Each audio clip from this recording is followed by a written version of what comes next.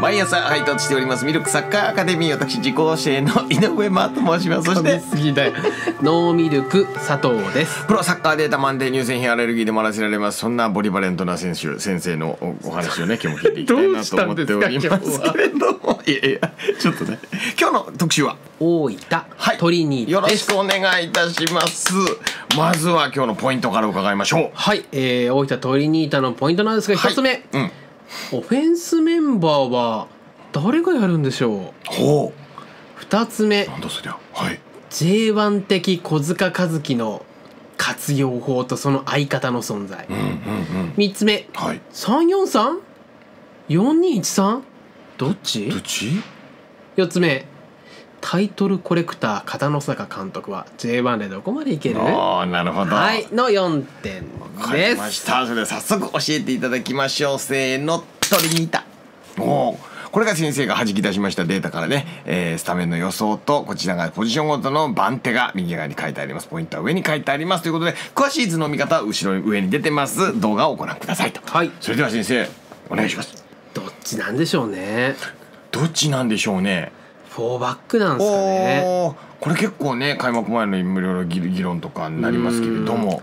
4バックなのかはい。3バックなのかっていう論争はちょっと絶えないかなと思ったので、はい。まあ、どっちにもできるような形で実はやれるんだよってことを皆さんには伝えたいなって思ってあえて4バックでやってみました。はいそれじゃあ教えてくださいそれで。はい、はい、えーまず、えー先発のゴールキーパーなんですが、はい。どっちかなーって思ったんですけど、うん。えーあえて、えールーキーを起用してみました。おお小島選手。はい、うん。早稲田からのルーキー小島選手を開幕のスタメンみたいな感じで抜擢しております。そして、え2人のセンターバックですね、はい。キャプテン鈴木選手と、うん。えーセレッソから、うん。いや金沢からやってきたうん。庄司選手。はいの2人にしております。そして、えー、とこの形で、えーあえてやってみたよっていうこと。あえてあえてやってみたよ。はい。右サイドバックにうん。アシスターの松本選手を配してみました。基本は右サイドハーフの選手だと思ってくれればいいんですが、え彼をあえてここで起用することでちょっと面白いことができるんじゃないかなと思ってこんな感じにしてみました、うん後ほどこれは解説します、えはい。そして左サイドバック、うん。もう再起をかけますよ、うん。ミサオのお兄ちゃん。おミサオ優斗選手。選手はい。そして、えーダブルボランチ小塚選手と丸谷選手。はい。入れております、そして前ですよね、うん。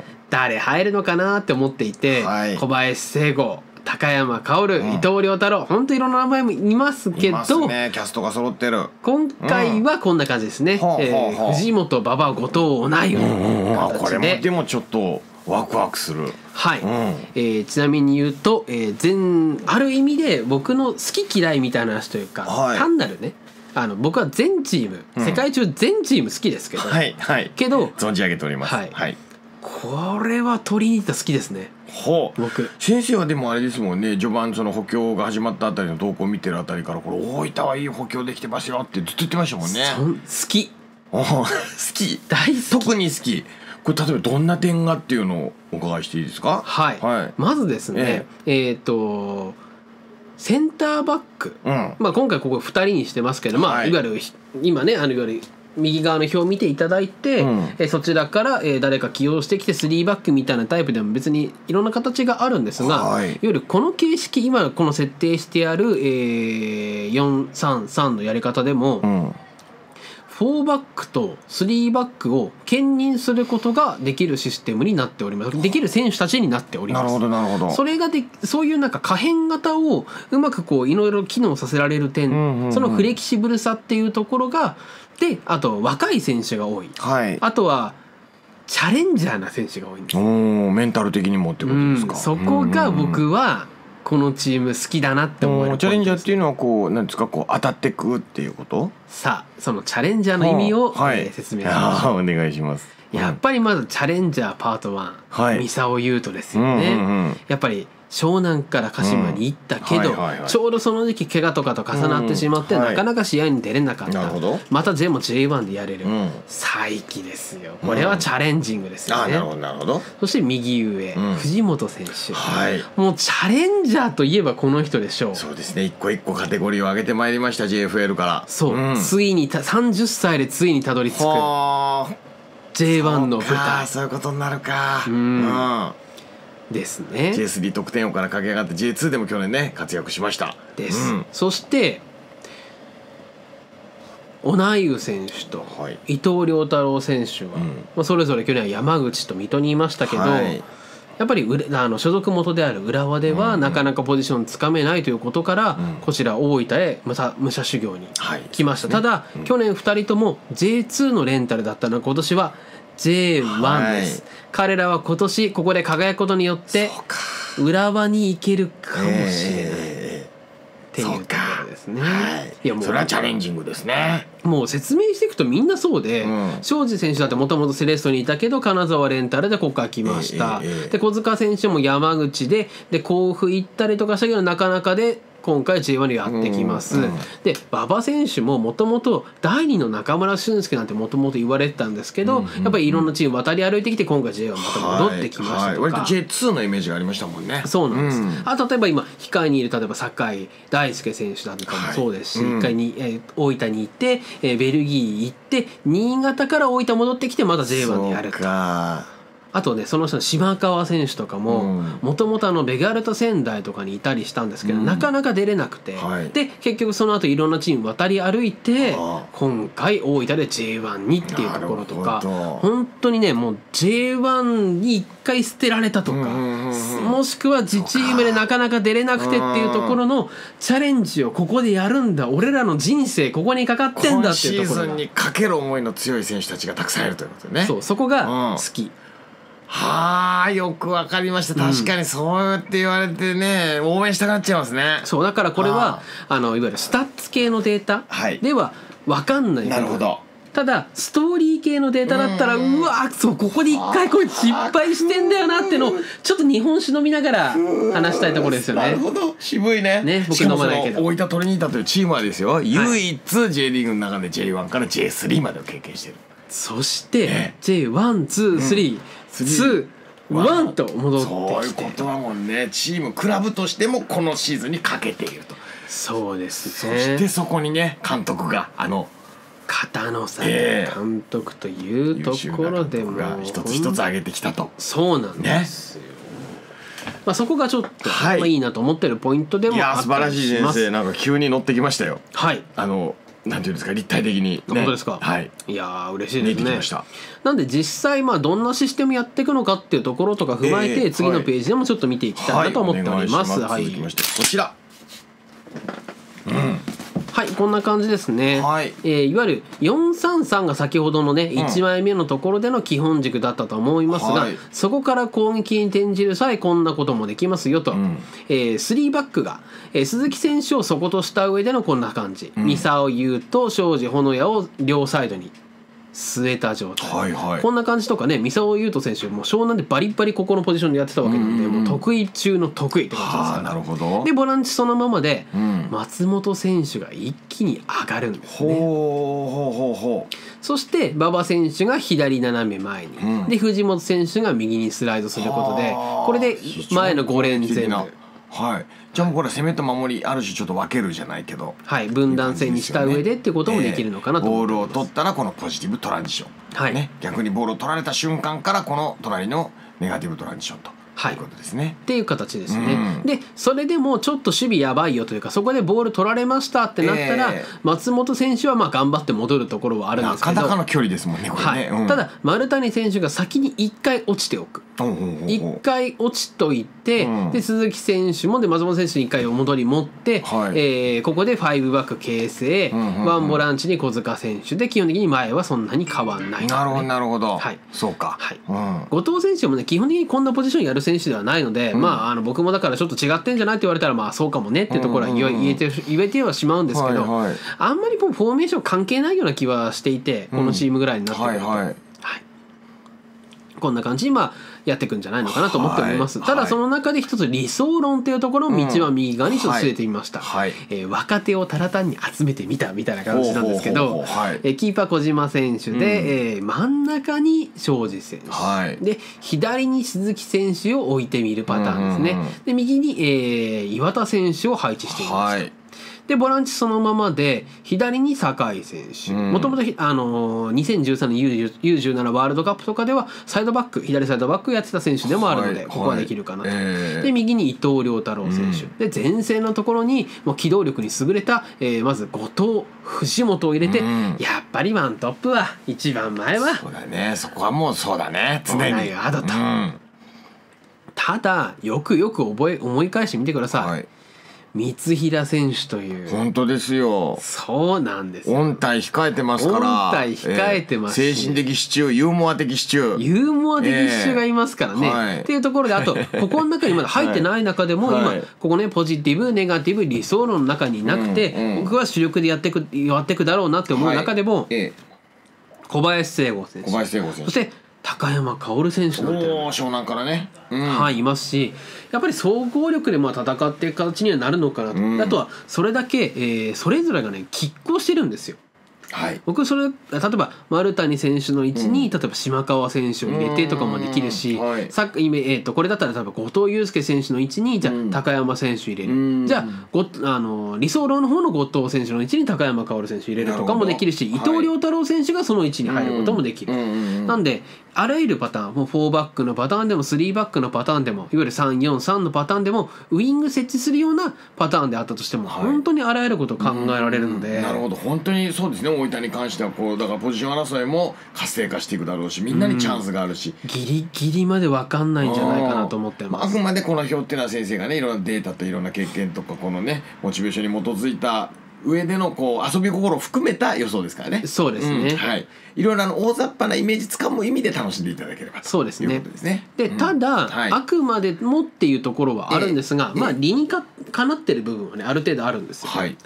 えー、と例えばポジティブトランジションのところでご覧いただければなんですが、うん。右にアシスターのはい。小塚選手、はい。そして松本玲選手がいます、うんうん。こうなってくると彼らからのボールの配球になってくるんですが、はい。一番前でやっぱり鎮座したいのはオナイウ選手とかはい。馬場選手だったりするんですよ。でこの状況前の例えばボランチより前の選手たちで考えた時に、うん。えーオナイウアドまあ、オナイウ選手馬場選手藤本選手後藤選手松本選手丸谷選手小塚選手いる中で、うん。僕はねストライカー一番誰になるのかって言われたら、はい。後藤選手じゃないかと考ほえています。うほうほうほう。というのは松本小塚が例えばこの、えーサイドサイドの位置だとか、このハーフのは、えーごめんなさいサイドの位置だとかもしくはセンターサークルの位置からパスを企てて、うんその後ろを丸谷選手が守る、うん。でそのボールを一旦収めるのが馬場選手なんですが、はい。となってくるとあと残ってるのがオナイウ選手藤本選手後藤選手、うんうんうんうん。でここで大分は2つの得点パターンを作れるんじゃないかと。ほ松本小塚から馬場にボールが渡る、はい。馬場からそこ馬場からオナイウまたは後藤につなげたい、う。うん。そこでブラインドとかコネクトの活躍、はい。働きできるのがまずは藤本選手ですね、はい。自分がボール受け取ると見せかけてうん。一回スルーしたりだとか、うんでさらにそこでオナイウ選手が反転ゴールみたいなこともできるし、はい。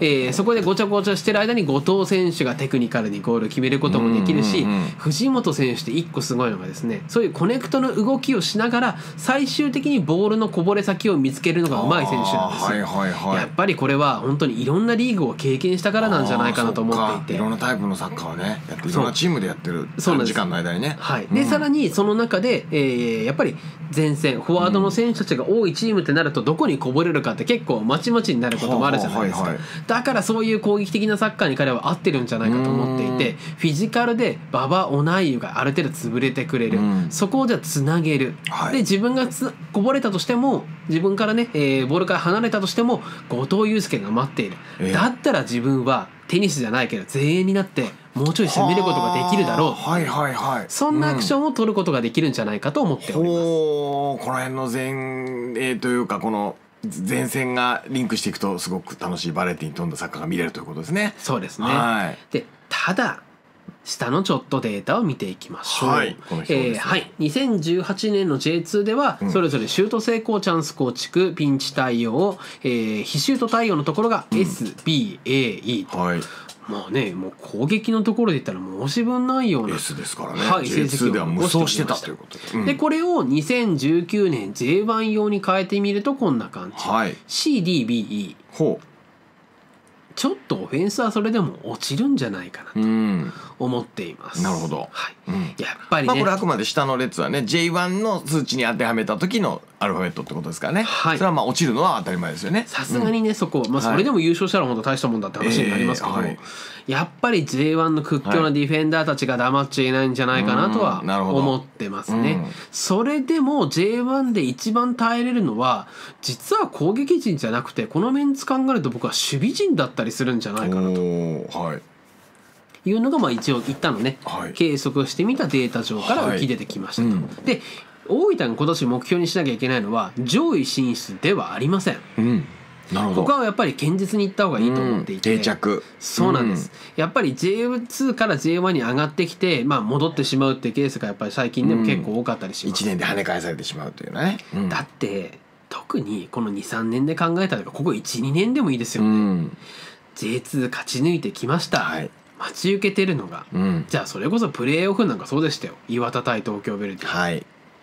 どこがいざプレーオフに回ってくるのか、うん。俊介率いる岩田なのか、ね。トーレス率いる鳥栖なのかうん。なんていう状態で、はい。でそんな J2 勝ち上がってきたら、うん。え？開幕戦？